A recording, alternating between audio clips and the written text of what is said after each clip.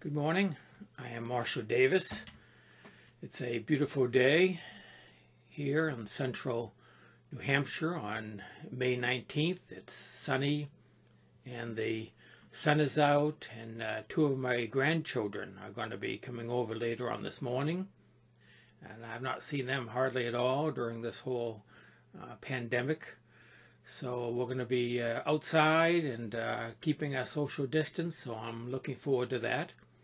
But before that, I thought I would uh, record this episode, which is going to be the first, what I hope is several, on the non dual teachings of Jesus. Jesus was a teacher of what he called the kingdom of God or the kingdom of heaven.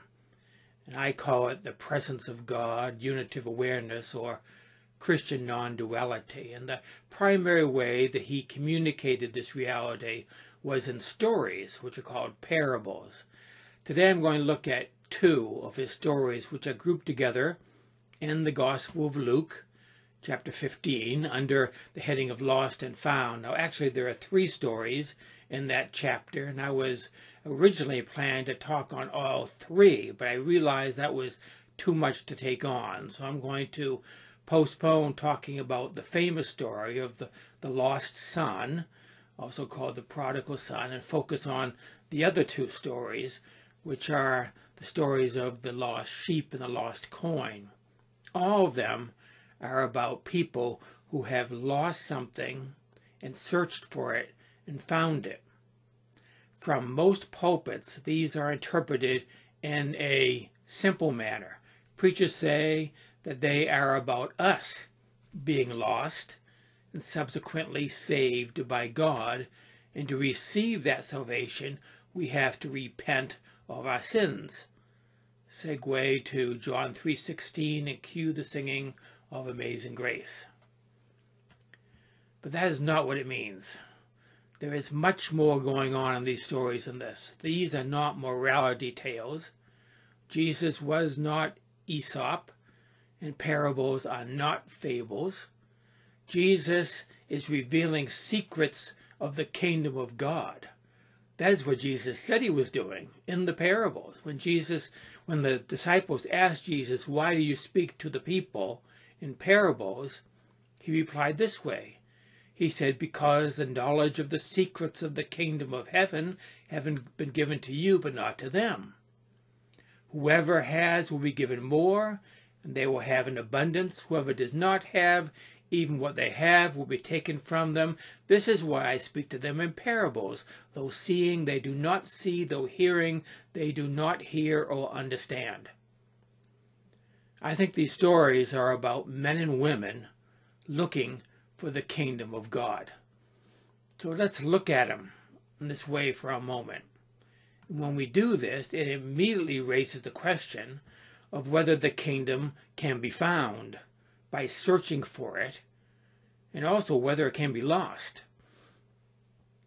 In one sense, there is nothing that we can do to lose or to find the kingdom of God. How can you lose what's all around you? I mean, Christians call God omnipresent. That means present everywhere at all times. How can you lose something or find something that is present everywhere at all times? So it is not a matter of losing and finding as much as it is a matter of recognizing what is already present. As Jesus said, the kingdom of God is within you and in your midst, all around you. He said the kingdom of God is spread out upon the earth and people do not see it. What can you do to find something that is already here? It's like a fish looking for water or a bird looking for air. As the Apostle Paul said, In him we live and move and have our being. Jesus told the story of a woman who lost a silver coin somewhere in her house. It was very important to her. It was likely part of a string of coins that were embroidered onto her wedding dress or in a, in a, in a necklace and was given to her as a gift by her husband on a wedding day coins were often used as jewelry, and they still are in many parts of the Middle East today. And this would have been her money not her husband's money. So she got to use this any way that she needed to, especially if she got in a bind. This gave her a certain amount of financial security in a society where women did not have much financial security. And these coins also would have been of great sentimental value as a, a wedding gift. And they were a status symbol also in the community as well. Well, somehow one of them got lost, fell off. She lost it and she turned the house upside down looking for the coin. It says she, she used a small oil lamp uh, to search all the corners of her dark house and she was sweeping the floor. That would have been a dirt floor, so it would not have been an easy job. She kept looking till she found it. And then when she found it, she celebrated with her friends. And then he says that Jesus adds these words to the story. In the same way, I tell you, there is rejoicing in the presence of the angels of God over one sinner who repents. Now, those words are the key to interpreting or misinterpreting this parable. They are exactly the reason most Christians misinterpret the parable today. For you see, most biblical scholars, at least those who are not tied to the inerrancy of Scripture and acknowledge that a text has a history of literary development. Most of the scholars believe that Jesus never said those words, that these words were added later by the writer or the editors of the gospel. Now, why do scholars believe this? From the content, the non sequitur. This verse obviously doesn't belong it refers to sinners and repenting. But the story has nothing to do with sin or repentance. Where are the sinners and the repenting in the story? Was the woman a sinner? Did the woman repent? Was the coin a sinner? Did the coin repent? You see how silly this is? The verse doesn't fit it makes no sense in the context of the story. It's obvious that it was added later. What happened is that the early church interpreted this story in the light of their theology of salvation, which developed in the decades after Jesus died and before the Gospels were written down, which is the whole generation after the cross, after everyone who knew Jesus died. The church interpreted the story to refer to us being spiritually lost and having to be spiritually found. In their theology, that meant repentance. And repentance sure wasn't in the story, so they had to add it to the end of the story and put it into Jesus' mouth. The same with the story of the lost sheep. Jesus told the story of a man who had a flock of a hundred sheep, and one day one was missing, so he left the 99 and went in search of the lost sheep until he found it. He brought it back on his shoulders and he celebrated with his friends and neighbors. That's the story. But then, then uh, it says that Jesus added these words I tell you that in the same way there will be more rejoicing in heaven over one sinner who repents than over 99 righteous persons who do not need to repent. Now, the reference to the 99 makes it clear that it refers to the sheep. But was that one sheep a sinful sheep? Did that sheep repent? Can sheep repent? Obviously not.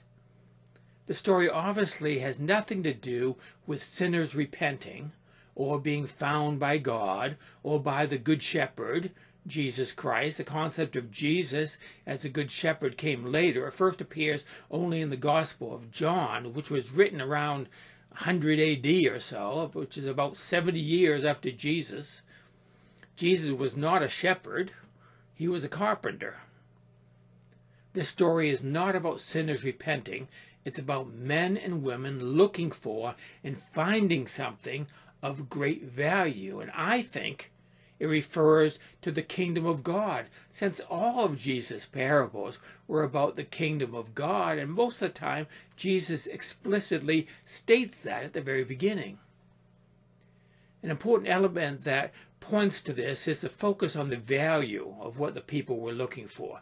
The woman valued the coin greatly, and the shepherd valued the sheep. In fact, in the Gospel of Thomas, the one lost sheep is said to be larger than the other 99 sheep. Jesus va- valued the kingdom of God above all else, which is very clear in his parables. Spiritual seekers value the kingdom of God by whatever name their spiritual tradition calls it. Seekers place high value on liberation awakening, enlightenment, salvation, however you picture it. Some people yearn for it and search for it, going to spiritual teachers and religious leaders in search of it. They are willing to sacrifice a lot and put in all sorts of time and effort to find the answer to the ultimate question of life. That is what traditional organized religion, as well as unorganized contemporary spirituality, are all about.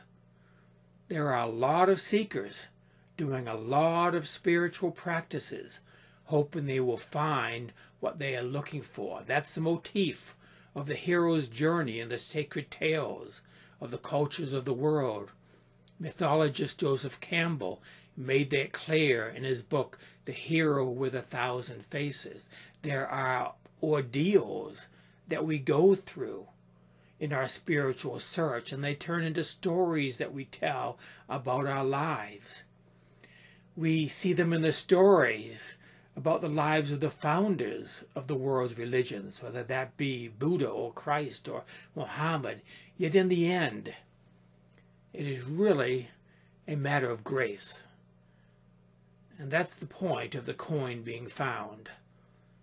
The coin did nothing to be found. The sheep did nothing to be found. That's also true of people. Even the founders of the great religions, whether it be the Holy Spirit anointing Jesus at his baptism in the Jordan River or the Buddha suddenly awaking under the Bodhi tree or Muhammad receiving the Quran in the cave on Mount Hira. It was all grace. In the end, it's not about a seeker, nor is it about a spiritual destination.